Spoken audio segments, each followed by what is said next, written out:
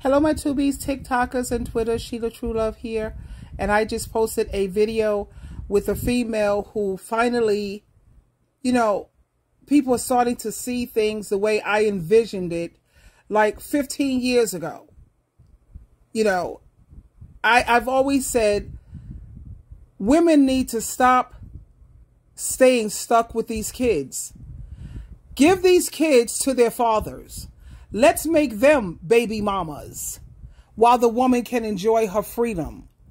Let the women pay child support based on what they're earning, their salary, and let the women have visitation rights where she can see the kids every other week, every two weeks, or even every week on the weekend.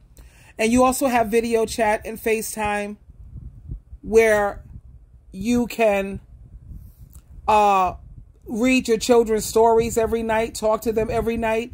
You don't have to be there uh, uh, hands on all the time. I keep in mind that people keep thinking they know more than God, they know more than Jesus, they know more than our creator and our designer. Ephesians chapter 6, verse 4, it says, You fathers go on raising up these children. You fathers are supposed to teach them and keep them on the right track. That's not for women to do. And my point is, when mothers stay on the job, these children become adults. They don't appreciate all the hard work that the mother has done anyway. Mostly these daughters, I hear them calling their mother toxic, narcissist, no good B-I-T-C-H, MFers. Mother stayed on the job, did all this hard work, and for what? For what? They don't appreciate it. They have a bad attitude, no gratitude. I say let these goddamn fathers raise these kids. You give birth to them, hand them over to the father, baby. Go to court. You could do co-parenting. You know you get them every other weekend or every weekend, whatever works for you. And let these fathers do the job.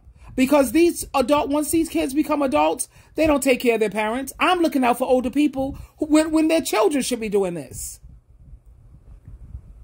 Okay? So Hand them over, like I said. Make these men baby mamas.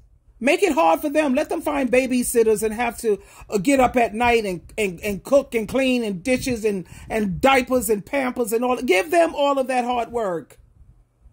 Because moms, you're not appreciated anyway. My son, I'm fortunate he treats me like a queen, but my daughter, she treats me like garbage. Well, she treats her brother like garbage and dirt too. But anyway, they don't appreciate anything. If her father would have raised her, honey, she would not be where she is today. You can believe that part.